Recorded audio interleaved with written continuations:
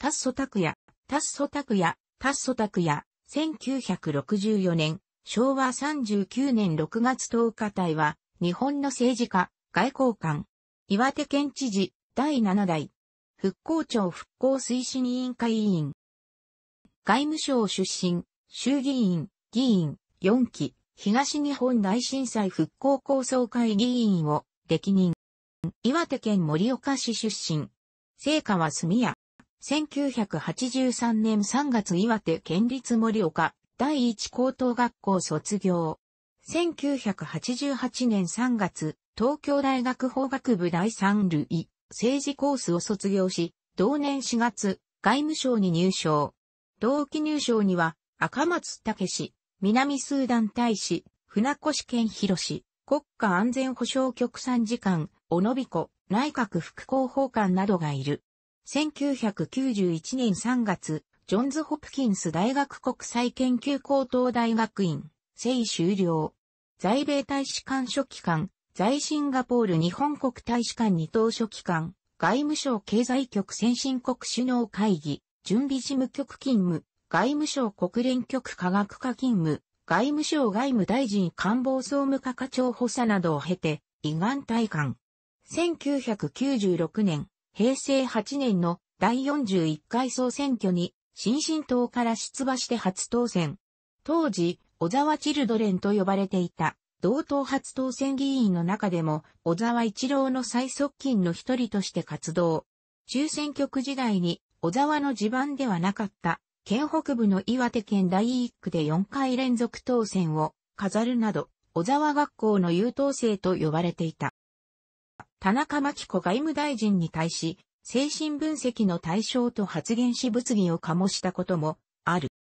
2006年、平成18年、小沢と距離を置いていた増田博也の4選を阻止するため候補者選びに奔走していたが、タッソ本人以外に増田に勝てる候補者が見当たらず8月、知事選への出馬を表明した。当初は民主党公認での出馬を検討していたが、他の国政野党との協調や自民党支持者を取り込むために無所属で出馬した民主党は推薦。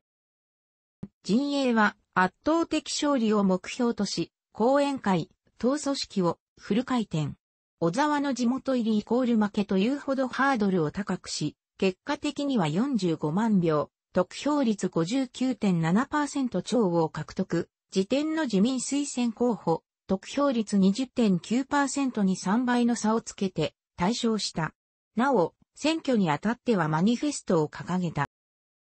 知事選と合わせて執行された岩手県議会議員選挙でも民主党単独、過半数の獲得を目指したが、結果は過半数にわずかに及ばなかった。ただし、県議会第一党の座は確保。詳細な議席配分数は岩手県議会を参照。岩手県知事としては8年ぶりに政務秘書を起用。知事就任して、直ちに増田県政下で状態化したコンサルタント業者への政策立案の外注を全面的に見直すことを宣言し、停滞した県庁の立案能力の復活を促した。マニフェストで公約した県北沿岸振興に取り組むため、関係町村長と意見交換を行う。また、自ら高校で英語の授業を行うなどの行動に出ている。知事選の時、他候補が岩手競馬の廃止を主張していたが、知事就任前から岩手競馬の存続を主張している。岩手競馬存続の条件として、当初は増田知事が作った損廃基準、単年度の収支均衡としていたが、現在、岩手競馬組合というのも、地方自治法上の特別地方公共団体であり、その構成団体の民意を踏まえて、経営、運営されるべきものと考えます。と発言し、見直しもあり得ることを示唆している。広大な面積を有する岩手県は、地域によって異なる生活実態に応じて旧の広域生活圏を設定し、県ごとに設置した地域振興局を通じて行政運営を行ってきたが、平成の大合併の成果を踏まえて、その見直しを表明。盛岡、県南、沿岸、県北の4つの広域振興圏を設定した。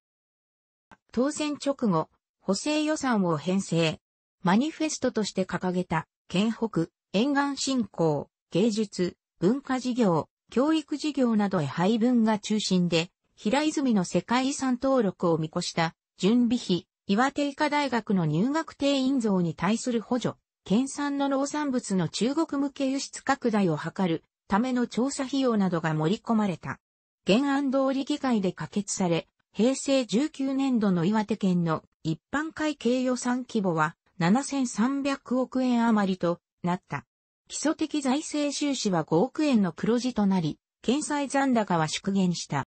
全国的に財政格差が問題になり、福田康夫内閣は5年ぶりに地方交付税を増額する措置を取ったが、格差是政策への決め手とはならず、一般会計予算規模は6500億円台、前年度予算は7300億円なった。予算規模が大きく減ったのは、検済残高をわかりやすく表示するために、交際費を一般会計から分離したためで、実質的な減額幅は40億円程度である。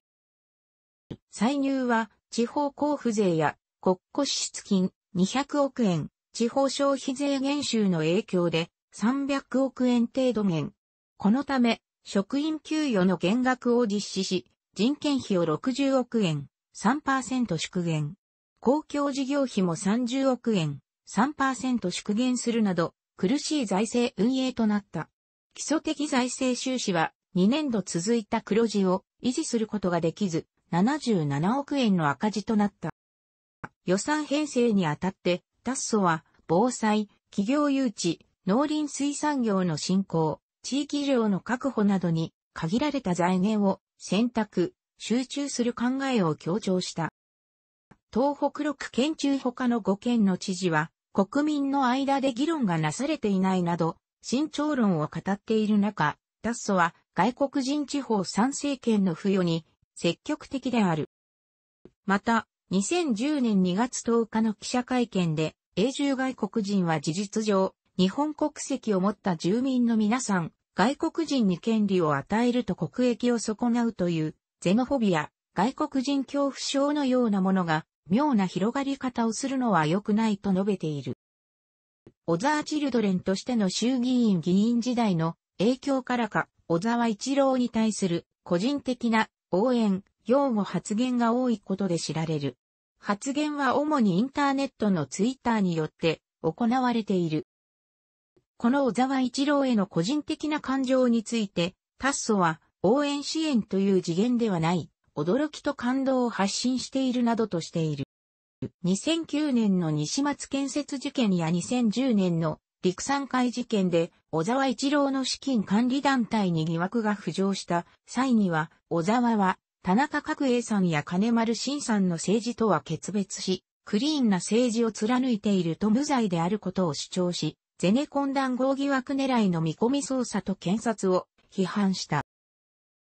自公政権時代の2002年に衆議院議員、鈴木宗男の承認喚問で尋問を行うなど、野党時代には与党追及の急先鋒と見られていた。また、インターネットが一般化する前からパソコン通信を用いた情報信を行うなど、先駆的な広報活動で知られ、当時マスコミからサイバー議員と呼ばれたことがある。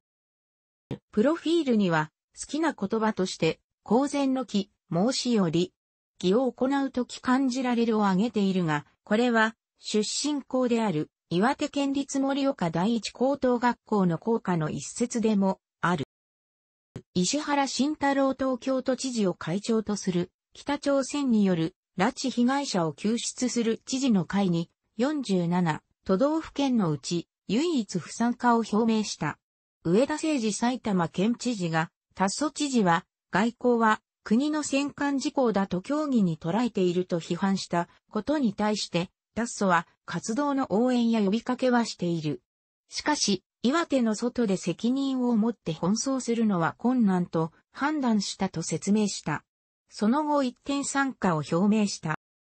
フジテレビ系バラエティ番組、笑っていいとも。にて、司会の森田和義、タモリが描いた南部鉄器のイラストが放映されたのを機に、それに対する感謝の手紙を番組宛てに送付していた。手紙渡す本人の顔写真とともに番組内で紹介され、その内容は番組レギュラーの千原ジュニアによって代読された。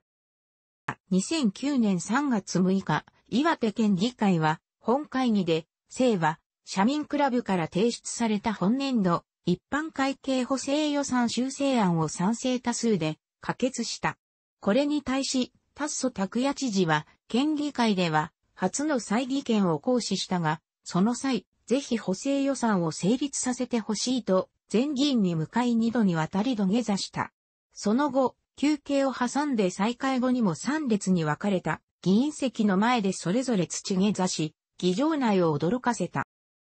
県議会事務局によると、知事が再議権を行使したのは初めてで、土下座したのも初めてである。サブカルチャーに明るいことでも知られる。2009年11月1日三陸鉄道開業25周年記念イベントの一環として全国鉄道娘サミットが開催されたが、この時パネルディスカッションを行った。その席で俺の嫁という言葉があることに触れた上で、クジアリスはうちの嫁と発言した。パネルディスカッション後に行われたクジアリスバースデーパーティーでも乾杯の挨拶を務め、漫画を活用して地域振興を目指す岩手漫画プロジェクトを立ち上げた。その一環として、号外、岩手チャグチャグ新聞社やコミック岩手を発売した。特にコミック岩手はタッソ拓也知事が責任編集者となっている。